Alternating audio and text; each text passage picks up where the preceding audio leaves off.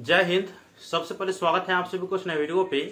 इस वीडियो के माध्यम से जो जानकारी बता रहा हूँ यह जानकारी वैसे कैंडिडेट के लिए है जो कन्या उत्थान योजना का लाभ लेना चाहते हैं और वो ग्रेजुएशन पास हो चुके हैं। तो इस वीडियो के माध्यम से बताऊँगी कि आप लोग आवेदन कब से कब तक करेंगे और साथ में आवेदन है तो आवश्यक डॉक्यूमेंट क्या क्या लगेंगे और आप लोगों को किस वेबसाइट से आवेदन करना है और साथ में आप लोगों को आ, इससे संबंधित पूरी जानकारी कहाँ मिलेंगे मैं आप लोग को बताऊँगा, ठीक है? इससे पहले मैं आप लोगों को बता दूँ, देखिए मैंने कल ही आप लोगों को बताए थे कि मैंने आप लोगों से मिलने का वादा किया हूँ और आप लोगों के गाँव का भी वीडियो मैं बनाऊँगा। तो इसको लेकर के आप लोगों का प्यार और सपोर्ट चाहिए और हम, मैंने फेसबुक पेज बनाए और फेसबुक पेज को मैंने कहे थे फॉलो करने के लिए। लेकिन आप लोग थोड़ा प्यार और सपोर्ट अवश्य दीजिएगा और थोड़ा सर्वर मैथिल फेसबुक पेज को थोड़ा फॉलो कर लीजिए डिस्क्रिप्शन बॉक्स में लिंक दिया हूँ। भाई, आप लोग सब्सक्राइबर इतना पूरा दिए हैं और फेसबुक पेज पे क्या सौ, दो सौ लेकर के अच्छा नहीं ना लगेगा। रिसेंट में ही मैंने पेज खोले हैं और आप लोगों से मेरा जो मिशन है, मैं आप लोगों को बताऊँगा उस वीडियो के माध्यम से। और जो जो है हिंट मुझसे चाहिए, मैं आप लोगों को फेसबुक पेज के माध्यम से बताने का प्रयास करूँगा, ठीक है?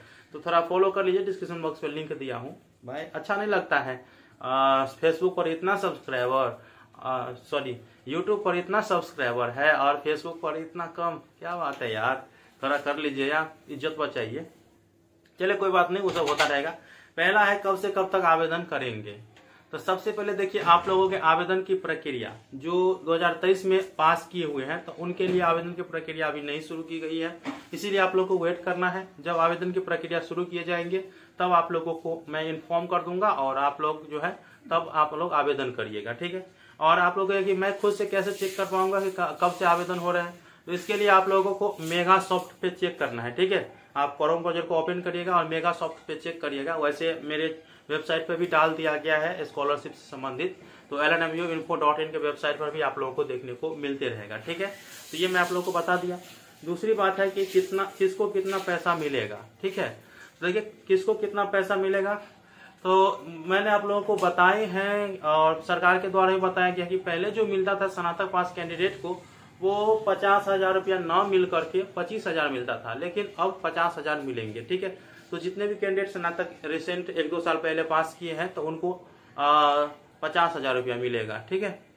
अब किसको मिलेगा? बहुत से कंफ्यूजन में रहते हैं। लड़का को मिलेगा कि लड़की को? भाई कन्या उत्थान मतलब कन्या मतलब बेटी होता है, लड़की को मिलेगा, लड़का को नहीं मिलेंगे। और दूसरी, लड़कियों में भी कंफ्यूजन विवाहित को मिलेंगे या अविवाहित को मिलेंगे, या दोनों को मिलेंगे।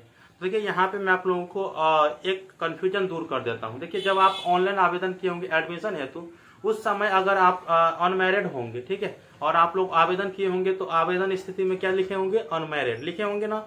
तो उस समय अगर आप अनमेरिड लिखे होंगे तो आप लोग यह समझिए कि सबको मिलेंगे। वैसे भी सरकार कह दिया है कि इंटर पास अविवाहित महिलाओं को ही मिलेगा अर्थात लड़कियों को ही मिलेगा। लेकिन ग्रेजुएशन में विवाहित हो या अविवाहित हो दोनों को मिलेंगे। तो इसीलिए आप लोग घबराना नहीं है आप लोगों को और दोनों को ये पैसा का लाभ मिलेंगे। ठीक है? तो ये कंफर्म हो गया ना आप लोगों को? और इसके बाद है आ, कितना पैसा मैंने आप लोगों को बता दिया सबसे इम्पोर्टेंट बात है कि डॉक्यूमेंट क्या क्या चीज़ तैयार करके अभी रख लेना है ताकि बाद में दिक्कत ना हो। देखिए बहुत सारे कैंडिडेट ऐसे होते हैं उनको दिक्कत होता है। क्योंकि देखिए आ, उनके सर्टिफिकेट में कुछ और रहता है और उसके आधार में कुछ और रहता है। उनके बैंक पासबुक में कुछ और रहता है। चाहे वो नाम हो उनके पिताजी का नाम हो माता जी का नाम हो या अन्य डॉक्यूमेंट में जो है अलग अलग डिटेल उसके रहते हैं। इस कारण से उसको पैसा नहीं मिल पाता है और रिजेक्ट हो जाता है ठीक है? तो सबसे पहले बात कि आपके सर्टिफिकेट पे टेंथ के हिसाब से जो भी नाम है वो आप लोग थोड़ा सही करवा लीजिएगा। और उसके बाद जो है आप लोग अपने आधार कार्ड कार्ड को भी जो है अपडेट करवा लीजिएगा। टेंथ के हिसाब से टेंथ में जो आपका नाम है आधार कार्ड पे सर्टिफिकेट पे वही आप लोग को आधार कार्ड पे भी डालना है। आपके पिता का नाम टेंथ में सर्टिफिकेट पे जो है वही आप लोगों को आ, अपने आधार कार्ड पे भी टेंथ में डालना है। ठीक है? तो ये आप लोग याद रखें माता का नाम जो भी है वो आधार पे भी रहना चाहिए माता का नाम सेम सेम ठीक है? तो बाद में दिक्कत नहीं होगा। आपका डेट ऑफ़ बर्थ जो आधार पर है और सर्टिफिकेट पे है। तो सर्टिफिकेट पे जो आधार है डेट ऑफ़ बर्थ है वही आप लोगों को आधार पे भी डेट ऑफ़ बर्थ जो है सही करवा लेना है, ठीक है? ऐसा ना हो कि सर्टिफिकेट पे अलग डेट ऑफ़ बर्थ है और आधार में अलग डेट ऑफ़ बर्थ है तो ये गड़बड़ हो जाएगा, ठीक है? इसीलिए आप लोगों को सब चीज़ जो है सही सही करके रखना है, ठीक है? ताकि बाद में दिक्कत ना हो। और डॉक्यूमेंट क्या क्या लगेगा, ठीक है? सबसे पहले देखिए बैंक पासबुक आप लोगों के पास रहना चाहिए आपके नाम से, ठीक है? दूसरे के नाम से नहीं, आपके नाम से खाता खुला खुला रहना चाहिए, चाहे वो किसी भी बैंक का हो जो इसके बाद जो है आप लोगों को उस बैंक को सीडिंग करवा लेना है। देखते हैं सीडिंग सीडिंग सीडिंग आधार से लिंक उसके बाद सीडिंग अलग होता है डीबीटी के माध्यम से उसका पैसा भेजा जाता है। इसीलिए सीडिंग करवा लेना है। ये आप लोग याद रखेंगे। दूसरा है कि आधार अपडेट रहना चाहिए अकॉर्डिंग टू टेंथ के सर्टिफिकेट के हिसाब से, ठीक है? और इसके बाद जो है ग्रेजुएशन के ओरिजिनल मार्कशीट लगेंगे, ठीक है? तो जो जिनके पास ओरिजिनल मार्कशीट है, वो तैयार रखे। और जिनके पास नहीं है, वो आने का इंतज़ार करे, ठीक है? इसके बाद जाति, आवासीय, आय। अपने पिताजी के यहाँ का रहना चाहिए। ये आप लोग याद रखेंगे।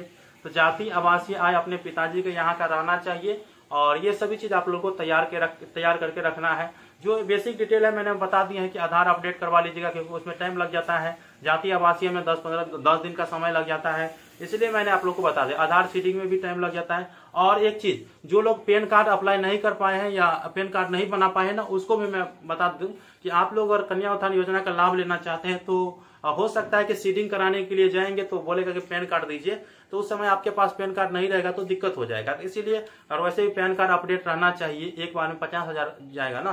तो इसीलिए आप लोगों को याद रखेंगे कि आप पैन कार्ड बनवा लीजिएगा और और बैंक पासबुक से ऐड करवा लीजिएगा या अकाउंट नंबर से ऐड करवा लीजिएगा, ताकि आप लोगों के पैसा सुरक्षित जो है आपके अकाउंट में पहुँच जाए। एक बात और, आप लोगों में कन्फ्यूज़न है कि जो ग्रेजुएशन में फ़र्स्ट क्लास किए रहेंगे, उन्हीं को मिलेगा, या सेकेंड क्लास जो किए हैं, उनको भी मिलेगा।